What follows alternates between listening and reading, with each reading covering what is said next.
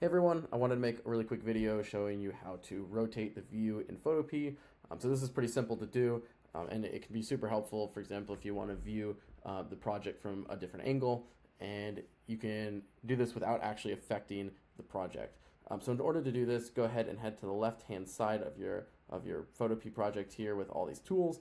And where you see at the bottom there's this hand, um, it may look like this where there's no arrow next to it, um, but if you go ahead and hold down on that and select the rotate view. Um, you can also, if you're selected on something else and you just press the letter R, then you will also be selected on the rotate tool. From here, you can click and hold down and drag and it will rotate the project view.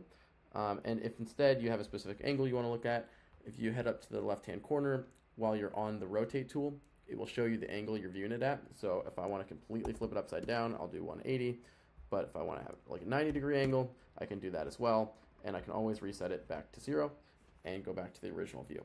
I hope this video helped. If it did, please leave a like, subscribe, and I'll catch you next time.